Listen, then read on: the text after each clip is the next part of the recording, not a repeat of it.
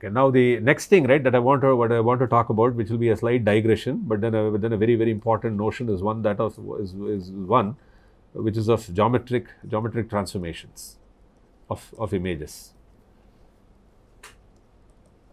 What this really means is that, see, for example, if you had a 1D signal, right, you talk about, suppose, suppose I gave you, gave you a 1D signal x of t, uh, then, you know, when you talk about transformations, typically what kind of transformations do you do on a 1D signal? You may do something like x of uh, at plus b, right?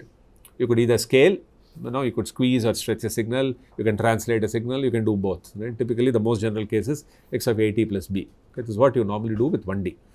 Now, if you had an image, right, and suppose you wanted to do something like a similar, now you might ask, why, why is this, why would somebody want to change an image into something else? For example, see, as far as images are concerned, the kind of, uh, the kind of transformation, and, and this transformation is a very nice hierarchy.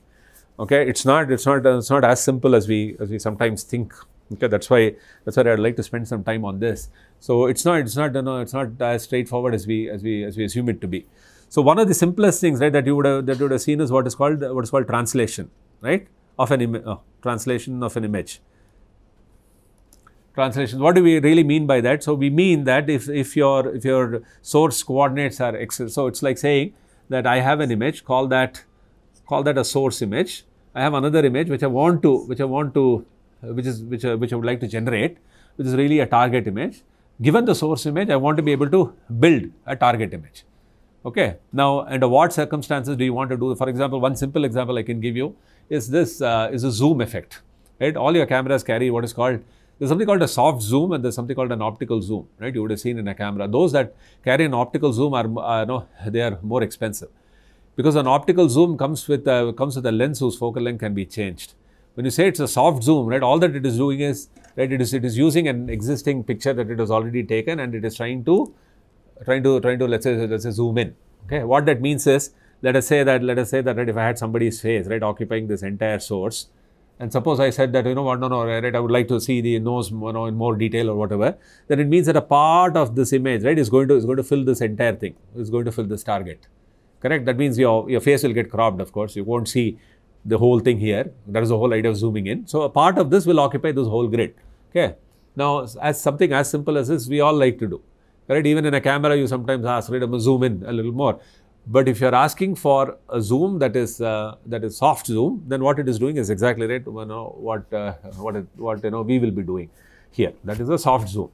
The other is an optical zoom, which I'll actually, which I'll actually talk about. Zoom is just one such case. You might want to do other things. Okay. So in a translation, what do you do? If you have target coordinates, okay, these are these are the spatial coordinates. By the way, this is not the intensity the intensity will be like it okay it at xt comma yt will tell you what is the intensity in the target image at the location xt comma yt this is what you want to know given that you have a source image wherein all intensities are available at xs comma ys where xs ys will go all over the grid okay these are your spatial coordinates xs and ys xt and yt are your spatial coordinates, one corresponding to source, another corresponding to target, and is is give is gives the intensity uh, in the source image at that location xs comma ys. Okay. Now what you're asking is a transformation when you do a simple thing xt yt. What you're asking is, is equal to xs ys. Okay. Suppose suppose you wanted to translate an image, you will say plus some tx ty. Now, now, now the, the interesting thing, right, with respect, now when you when you write for 1D signals, you know, it seems like a straightforward thing, right? You just write, you know, x of x of uh, t plus b, but you're done. Now, in uh, as far as you know images are concerned, even if you ask under what situations, right? Can I ask you, if I take a camera and suppose I translate, okay, uh, under what situations do you think that you will get a shift that is actually a global shift? See, right, one thing that you should notice is this Tx and Ty is independent of, of Xs and Ys. It's going to be applied on all Xs and Ys, right? Whether I take 0, comma 0 or whether I take somewhere in the middle of the image, everywhere I'm going to you know, apply the same Tx, Ty. Which is, which is what is also true with respect to 1D. When I do x of t plus b, do I change my b for every t? No right i just translate the whole thing globally okay that's what that's what we call as a global shift but as far as images are concerned there can be what are called local shifts and there can be what is called a global shift Okay, and the whole idea, you know, when we when we when we try when we try to talk about geometric transformations, is that you would like to go from one image to another, even if there are local shifts, right? You don't want to worry about them, but as long as there is one sort of a linear transformation that takes you from one to the other. Okay, it's like saying that you know. So just to just to, just to set the tone, what it means is that you know, if on a certain day, if I if I were to take an image of the IIT campus, right, like they do, you know, uh, even now you know somebody wanted to wanted to IIT Madras to prove that uh, that you know we've actually grown enough number of trees on campus. How do you to prove that? Then you should have had some picture that was taken, let's say 30, 40 years ago of the campus, and now you take, you take let's say one more image, and now you want to compare the two. Now it is impossible that you know you'll go exactly to the same location where 40 years ago it was taken, right? You will take from somewhere nearby.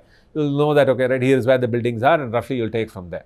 Okay, now you want to be able to match these two images, right? You can't directly subtract because they are they are not even aligned. So what you will have to do is you know you'll have to do some kind of a rotation, do some something you have to do, okay, so that so that there is one linear transformation that brings you from one to the other. The whole idea hinges on being able to write that one linear transformation. If there is more than one, okay, which is needed, okay, then it means that you know it's no longer the kind of thing that you would like. Okay, so so which is why which is why these translations, rotations, and scaling that we that we are familiar with is the most simplest of all. Like when there is a, you know when there is a when there's a global translation, all the pixels just you know shift by by a, shift by a tx and ty. Then it means that uh, I know that you know I knew that the camera was was right there okay, looking at the ground below and I simply moved tx, ty.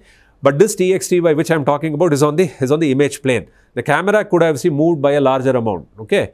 You go farther, for the same tx, ty, you'll have to do more, no, you'll have to move more, right. As you go farther and farther, this is like uh, you sit inside a train, okay.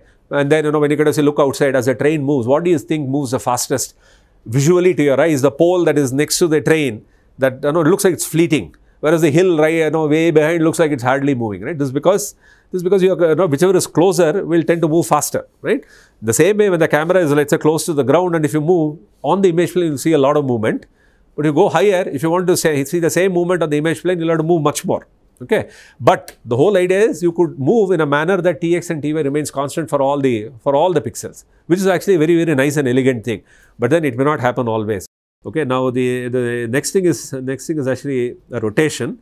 And all this, okay, this in, this is all actually called an in-plane translation. In the following class, I'll tell you what I mean by that.